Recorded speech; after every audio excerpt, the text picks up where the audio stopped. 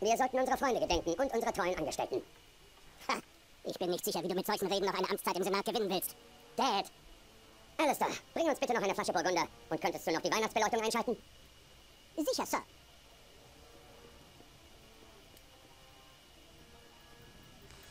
Ja, hallo Leute und herzlich willkommen zurück zu Nightcore Let's Play Looters.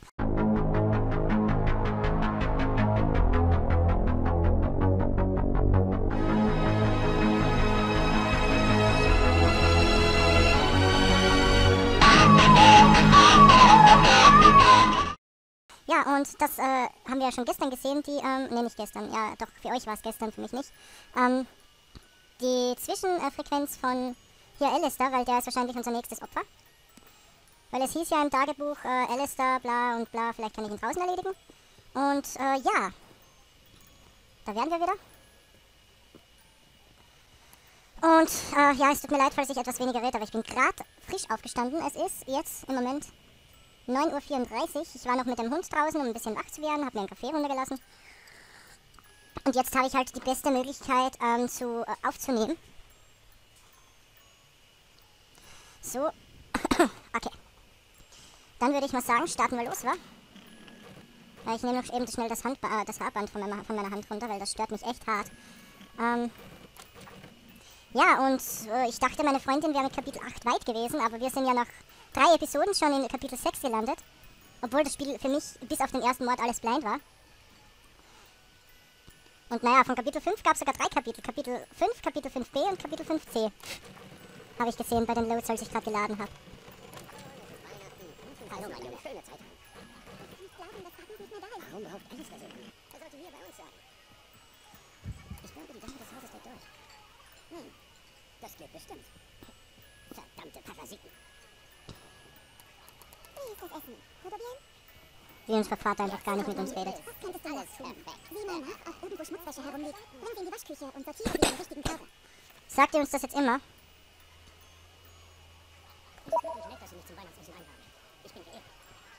Wartet kurz. Als Bin wieder da. Wir haben in letzter Zeit viel durchgemacht. Ich bin sicher, wir kriegen es zusammen.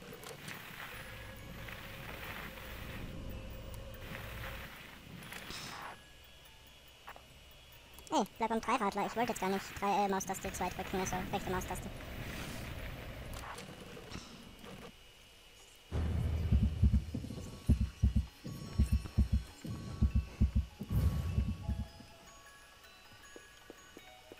Spiel vorsichtig draußen. Der Boden kann sehr rutschig sein. Ich bewaffne mich mit einer Zahnbürste. Hallo, junger Herr. Ich weiß nicht, irgendwie mag ich den. Irgendwie mag ich Alistair. Wie können wir den denn töten? Hey, Lucius. Wie geht's denn meinem kleinen Kumpel heute? Oh, der ist ja voll nett.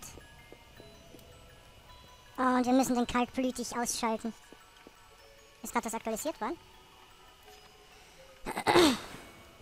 Ich würde sagen, er muss ja die Weihnachtsbeleuchtung einschalten. Warte, ist zwar ein, aber ich würde sagen, wir suchen jetzt mal das Einschaltegerät. Okay, ich glaube gar nicht, dass das ein Stromgenerator ist. Das sieht mir eher aus wie ähm, so ein Kompressor für Luft. So ein, so ein Ding hat mein Opa nämlich auch. Wir müssen irgendwie die Weihnachtsbeleuchtung ausschalten. Also meine Vermutung ist, er muss ja immer die Weihnachtsbeleuchtung einschalten. Ha. Aber wo ist die Weihnachtsbeleuchtung? Bewaffne mich mit einer Zahnbürste. Okay, folgen wir mal den Kabeln. Ich folge jetzt einfach mal der Weihnachtsbeleuchtung. Vielleicht gibt die mir Ausschluss drüber.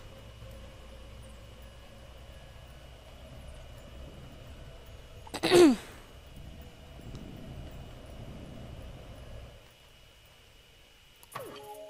ist mit dem Licht?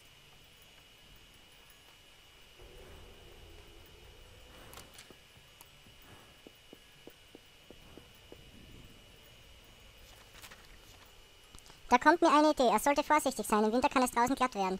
Womit kann man Wasser transportieren, ohne dabei Verdacht zu erregen? Mit einer Wasserflasche. So müssen wir eine Wasserflasche finden, aber ich will mit dem Dreirad fahren. Geht schneller.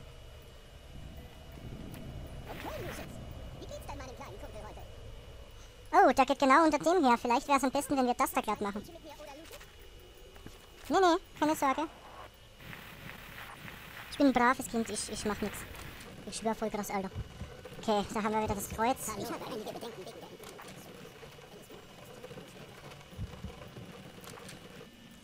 Okay. Wo könnte eine Wasserflasche sein? Ich guck mal in unserem Zimmer nach, weil da vermute ich eh am ehesten eine Wasserflasche. Steig mal ab. Was sagt denn eigentlich unser Ouija-Brett? Ich habe viele Formen, in der Tat, wenn ich fest bin, bin ich glatt. Ja, das trifft total auf Wasser zu. Ich pack die Zahnbürste aus.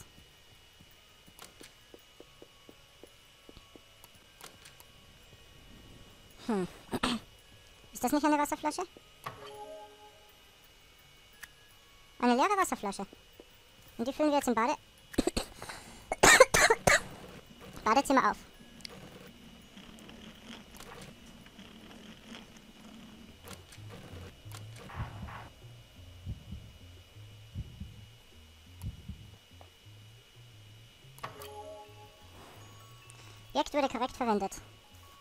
Bekomme ich X äh, jetzt XP? Okay, äh... Ich vermute, dass wir das dann mit äh, unserer Macht mit äh, Telekinese zerbrechen lassen müssen, mit dem Eisding oben rum, wo artikuliert, dass er dann runterfällt und voll auf Alice da drauf. Glaube ich. Ich glaube, so können wir Alice am besten ausschalten.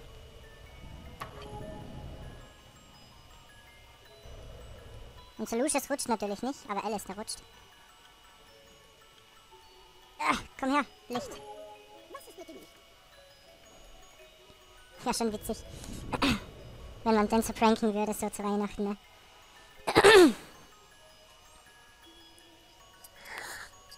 Oh, der ist voll nett gewesen gerade. Jetzt wird er wahrscheinlich böse werden, weil er merkt, dass wir ihn töten. Warte kurz, Lucius, ich bin gerade beschäftigt.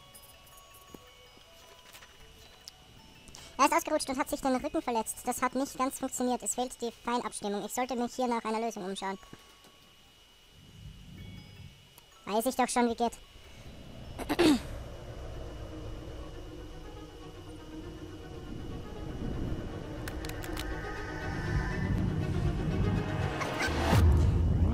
Alter, voll in den Kopf. Ich dachte so ins Herz oder so. Aber das war ja genau das rechte Auge. Alter.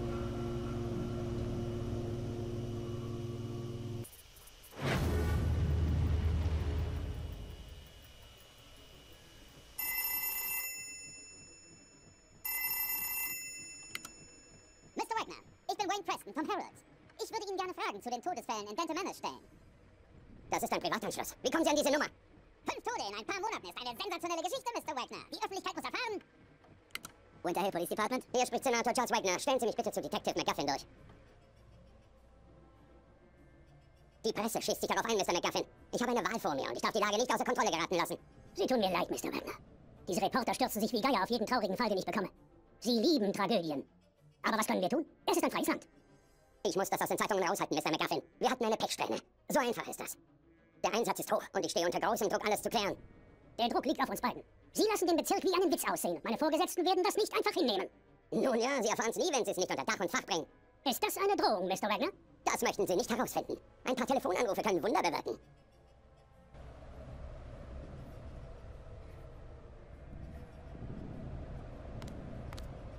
Detective McGuffin! Kann ich Sie sprechen? Wie kommen Sie hier rein? Sie bearbeiten den Fall hier auf dem Wagner-Anwesen. Ich habe da ein paar Fragen über die Serie ungewöhnlicher Todesfälle in den letzten paar Monaten. Hören Sie mir zu. Lassen Sie diese Leute in Ruhe. Sie hatten nur etwas Pech. Es sind nette Leute und Sie brauchen Zeit, wegen Ihrer Verluste. Klar? Wenn ich Sie noch einmal in der Nähe dieses Hauses sehe, verhafte ich Sie. Verstanden?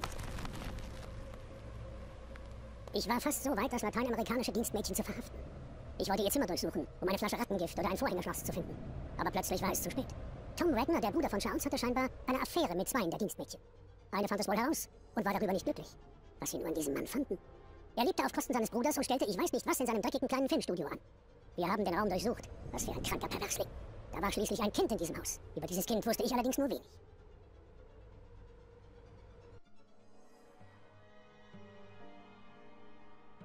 Dritter Januar 1973, verhängnisvolle Affäre.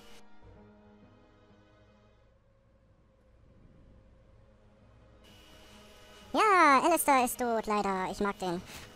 Jovita ist unsere nächste. Hausmädchen Jovita. Sie würde einen guten Sündenbock abgeben. Ich weiß, dass zwischen Dom und ihr was läuft.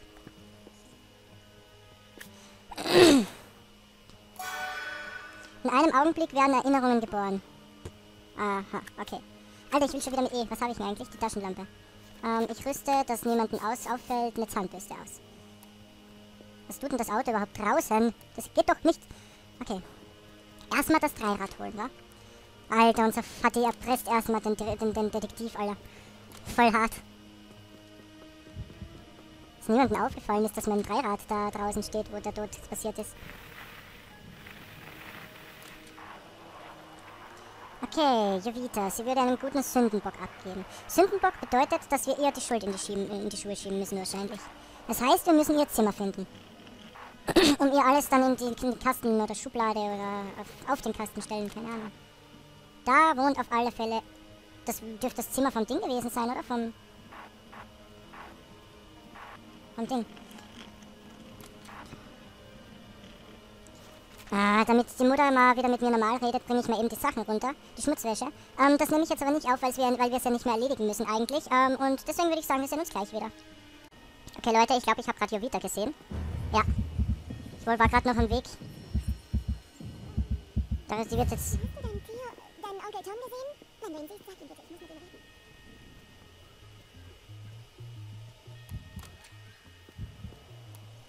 Äh, was ist denn das? Ein Schlipper.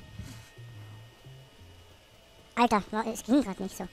Alter, ich kann gerade die Aufnahme nicht pausieren. Alles klar, dann nehme ich euch halt mit. Ohne Spaß. Könnten wir jetzt bitte mal fertig sein mit Wäsche sortieren? Aber warum ich da jetzt vorhin nicht in das Zimmer reingegangen bin, es hieß ja, dass mein Onkel mit zwei Hausmädchen eine Affäre hat und am Gang liegen, li äh, liegt Grant. Also da denke ich mir auch nur so, ja, äh, ja, Bettsport. Hey, mein Junge, ich weiß, ich habe versprochen, Zeit mit dir zu verbringen, aber ich kann jetzt wirklich nicht.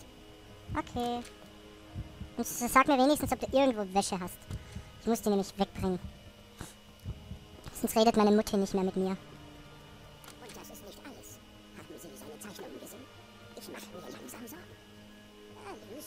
Ich spreche gerade mit deiner Mutter. Das ist nur so ein Erwachsenenkram. Morgen, mein Junge. Du musst aufpassen, dass du deinen Onkel Tom nicht störst. Er meint, du hättest ihn wirklich gestört. Du weißt, dass er seine Privatsphäre braucht. Es unterhalten sich gerade Erwachsene. Wir setzen den Unterricht später fort. Okay, alles klar. Das ist ja wirklich so ein Ding. Hallo, Junge. Es scheint alles gut zu laufen. What the fuck? Weißt du, der kommt mir sowieso komisch vor. Es gibt kein Kreuz hier in dem Zimmer. In jedem Zimmer hier ist ein Kreuz. Er fragt uns, ob alles gut zu laufen scheint. Äh, was meint denn der in der Schule? Keine Ahnung. Alter, der ist irgendwie voll creepy. Und der ist auch so gehässig. Ich wette was, wenn wir dem erzählen würden, dass wir die ganzen Tode hier für die ganzen Tode verantwortlich sind, wird er uns helfen. Ohne Spaß. Der wird uns 100 Pro helfen. Nein, ein Zimmer komme ich leider gerade nicht rein, weil ich denke, dass da Ting-Tong und Ting-Tong gemacht wird. Und harter, richtig harter Bettsport. Könnte aber sein, dass das das Zimmer ist, wo das letzte Kleidungsstück drin ist. Aber da kommen wir leider nicht rein. Und wie wär's, wenn die Bitch hier einfach mal um die Ecke gucken würde, wa? So, das ist das Zimmer der LDs. Alles klar, da ist nichts mehr. Ist in meinem Zimmer noch irgendwie Schmutzwäsche? Nee, sieht nicht so aus. Okay, was ist das? Da ist ein Gästezimmer. Da ist noch ein Gästezimmer. Da liegen Pantoffeln. Ah, da ist noch ein Socken. Ein Socken. Okay, ich gucke noch eben so ein bisschen die anderen Räume an, ob da noch irgendwo was sein könnte. Unser Onkel Dom dürfte jetzt ja eigentlich nicht in sein...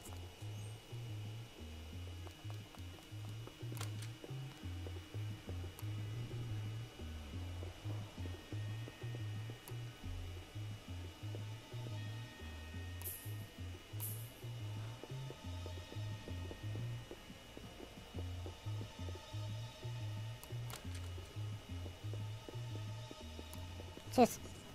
Alter, was ist denn das für ein Stück Scheiße? Alter. Alles klar, der muss sterben. Der muss so hart sterben. Alter. Ja, äh, wir waren jetzt in allen Räumen. Es fehlt... Nee, wir waren nicht in allen Räumen. Alter, das Haus ist hat jetzt wieder so viele Räume, wa? Okay, klappern wir zuerst die Seite hier ab. Aber da dürfte ja eh nichts sein. Nur Küche, etc. und Badezimmer und Klo und so. Hä? Ah, okay. Da ist nix. Da ist nix. Könnte echt sein, dass dort das letzte Kleidungsstück ist. Und wir können es jetzt nicht bekommen. Ich denke nämlich, dass die da so morgen Sport betreiben. Aber ich weiß es natürlich nicht. Wir können es angucken. Aber naja, die Kleidung sagt mir jedenfalls sehr viel. Muss ich ganz ehrlich zugeben. Okay, da in der Küche wird ja wohl kaum was sein. Und oben waren wir schon. Also klappern wir jetzt mal die andere Seite ab.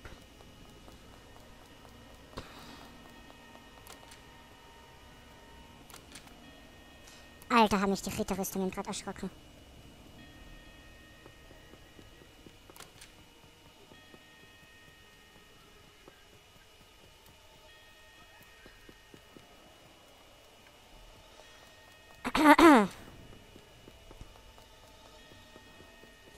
Ja, da ist echt das letzte Kleidungsstück drin. Hallo, Herr Polizist.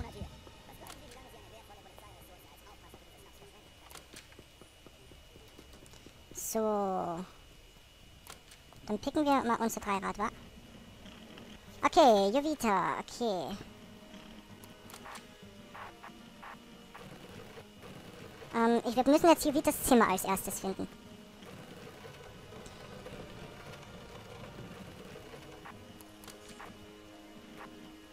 Welches Zimmer ist das?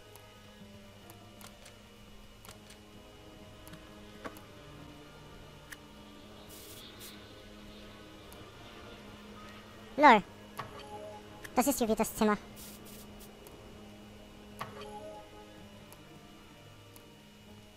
Das sind schon wieder Mutis Ohrringe. Haben wir noch etwas? Alter, hat die mich gerade erschrocken. Ähm. Naja, wenn was fehlt, wird es uns ja wahrscheinlich auch noch gesagt. Hm.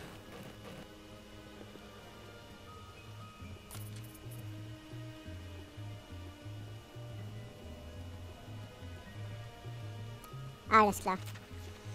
Ich habe Onkel Tom mit Susan gesehen, wenn ich das hier wieder zeigen könnte. Ich glaube, Großvater hat oben in seinem Arbeitszimmer eine Kamera. Okay, Großvater ist der creepy Typ ohne Kreuze, glaube ich. Erstmal gucken, ob, ich, ob das richtig ist. Fabius oder wie der hieß. Ich bin natürlich die falsche Treppe raufgefahren. Ich muss, ich muss andere, andere Treppe fahren.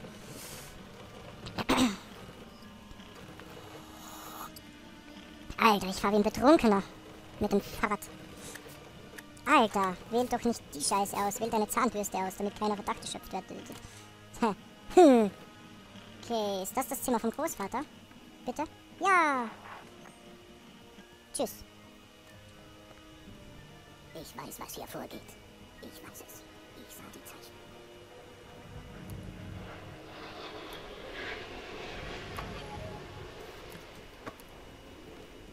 Brauchen wir nicht noch einen Film? Bin mal eben ganz kurz gespannt. Hallo, Junge. Es scheint alles gut zu laufen. Es ist im Tutti Orange. Nice. Alles klar.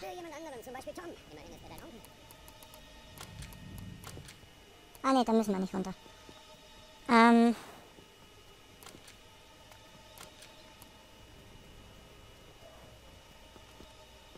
Hä, da bin ich. Ah, lol, ich bin ja einmal durchs Zimmer gefahren, wa? Da geht's runter, da geht's runter, ja. Und natürlich müssen wir da hinten hin. Du sprichst nicht viel. Irgendwie unheimlich. Ah, alles klar. Ah.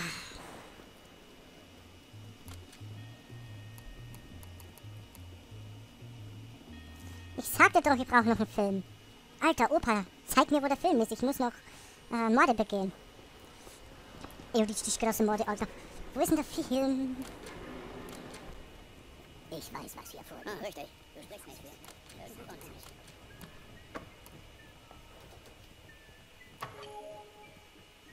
Secret Door. Weinzeller. Hallo, Junge. Es scheint alles gut zu laufen. Bevor wir den Mord jetzt begehen, muss ich da eben ganz kurz nachgucken. Komm mit mir, mein Dreirad. Mein treues Ross. Alter, Weinkeller. Okay. Weinkeller, Weinkeller, Weinkeller, Weinkeller. Da ist ein Secret Door. Ähm. Wir fahren jetzt erstmal in den Weinkeller. So, da haben wir den Keller. Gut, ähm.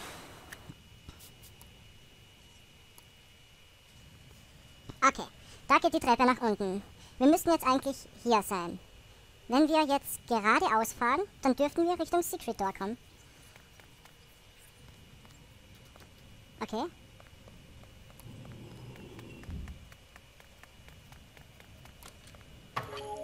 Du hast einen geheimen Ort gefunden.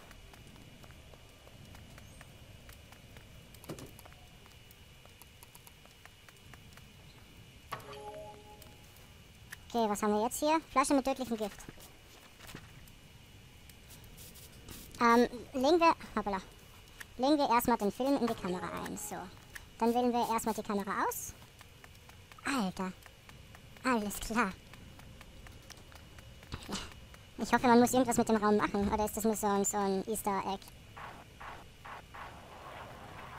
Ja, ich habe mal gestern in die Aufnahmen reingeguckt, die ich gestern aufgenommen habe. Das waren die ersten drei Folgen.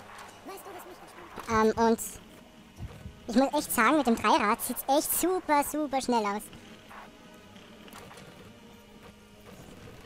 Okay, wo ist das jetzt? Wo ist das jetzt? Da ist es nicht. Ähm, okay, da gibt es nichts Neues, nur dass wir es ihr zeigen müssen und das OP eine Kamera hat.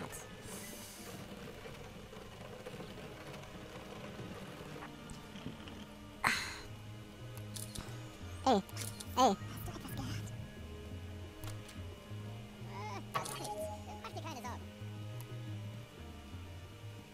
Äh,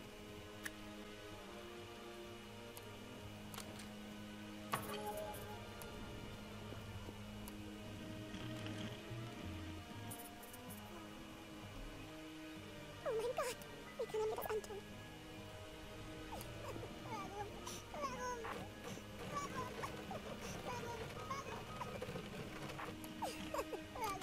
Warum?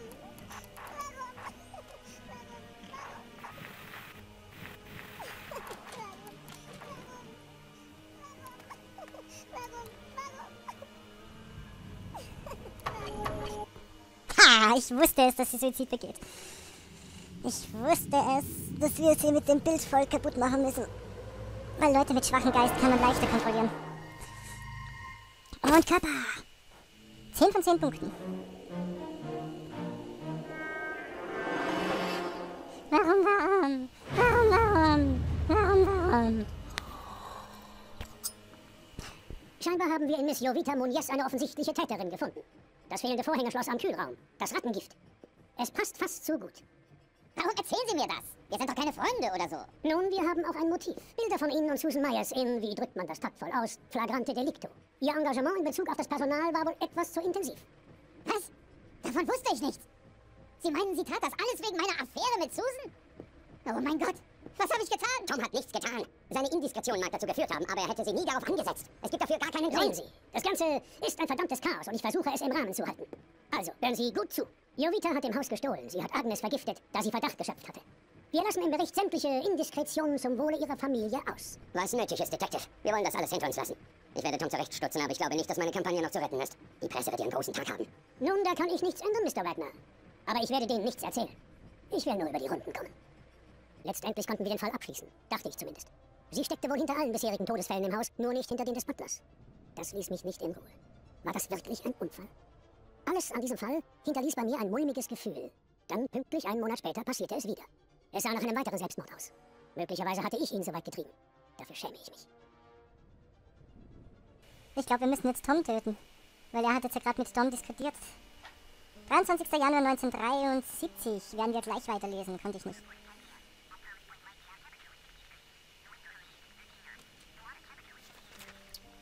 Der Verstand kann nicht alles ertragen. Jovita, sie hat die Bilder gesehen und ging weinend auf den Balkon. Sie befindet sich nun in einem labilen Zustand. Ich sollte das ausnutzen. Ich hab's ausgenutzt. Und zwar auch noch richtig. Ich bin voll stolz auf mich immer. Ähm, öffne mich mit der Zahnbürste. Heute bleib ich nah der Hölle in Kammern zu liegen. Heute bleib ich nah der Hölle in Kammern zu liegen, ist mein Wille. Müssen wir den in der Kammer unten töten? Also wir sind uns einig, dass es Dom sein muss, wa?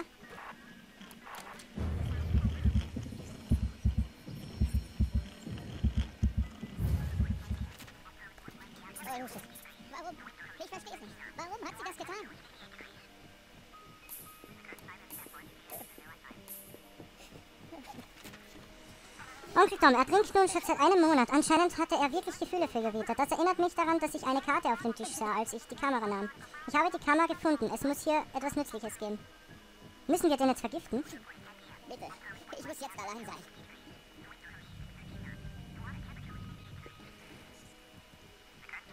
Oh. Wie konnte sie das tun? Warum sollte sie so etwas tun? Oh. Warum? Ich verstehe es nicht. Warum hat sie das getan? Hörst du erstmal auf zu saufen, dann können wir reden. Alter, ich will doch nur die Flasche angucken. Ich will doch nur allein sein. Warum sollte sie so etwas tun? Lass mich. Ich will die Flasche angucken. Warum? Ich verstehe es nicht. Warum hat sie das getan? Alter, ich gehe irgendwo unten in der Bar, müsste ja was sein, oder?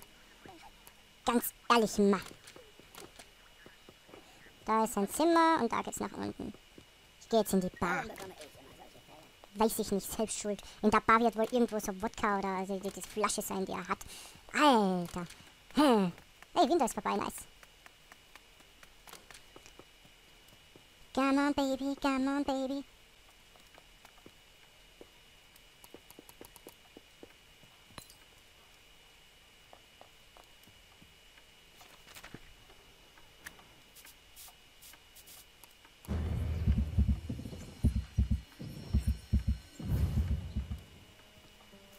Ah, die war ja sehr aufschlussreich. Alter, da haben wir eine ganze Bar und wir haben nicht das richtige Saufen bei.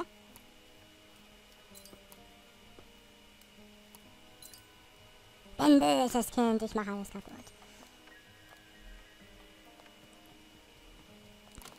Oder ist im Keller vielleicht auch noch äh, Saufen, dass wir vergiften können.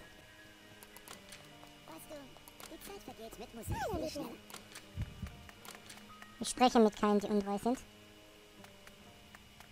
Naja, sie kann ja eigentlich nichts dafür, wenn er eine Affäre hat. Deswegen töte ich ihn auch. Ohne Mitleid. Selbst schuld, schuld wenn er die, die andere knackt hier. Mit der anderen eine Affäre hat. Da ist aber nichts. Der ist selbst schuld, wenn er die eine knackt, während er mit der anderen eine Beziehung am Laufen hat. Dann ist er selbst schuld, wenn sie sowas tut. Durch uns. Eventuell wäre sie ja selbst gesprungen, aber ich glaube, äh, dann hätten wir keine Macht bekommen. Alter. Gib mal her, da den 33er. Können wir mit dem irgendwas anfangen?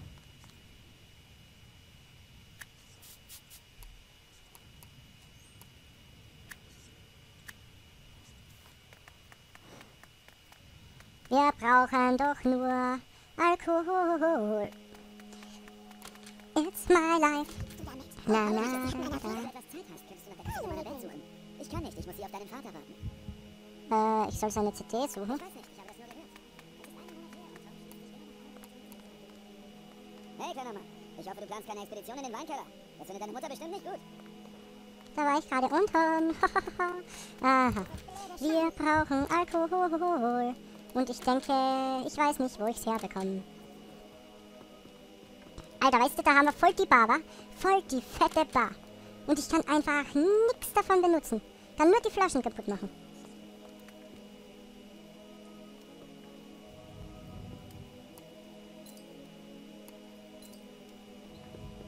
Bedrohlichen, okay, wenn ich genug Flaschen zerbreche. Ich habe gerade ein Achievement bekommen, aber das habt ihr sicherlich gesehen.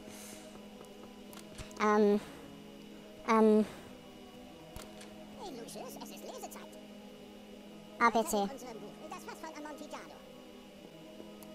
Wir waren an Bergen von aufgehäuften Knochen und Fässern vorbei, bis in den entferntesten Teil der Katakomben gelangt.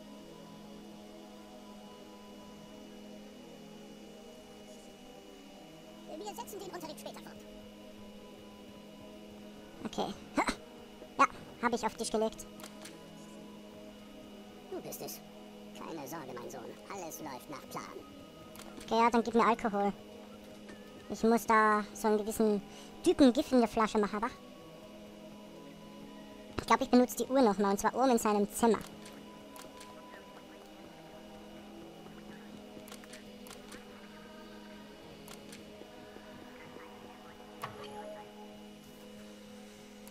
Nicht dein Ernst.